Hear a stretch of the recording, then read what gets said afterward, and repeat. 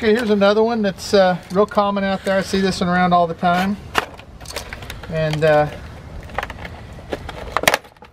one of the biggest problems with most of these locks is the material they make them out of. So they make them out of soft, brittle material. And um, so this one, like uh, many of its similar deals, is made out of a um, cast zinc product. So um,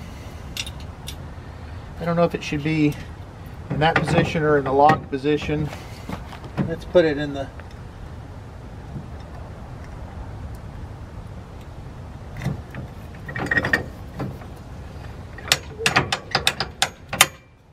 lock there. Yeah, that probably holds it. That's that feels a little bit more firm. Yeah, it's more firm. But again, because it's made out of such a soft material, it's not going to take anything to break it. You'll be able to see here.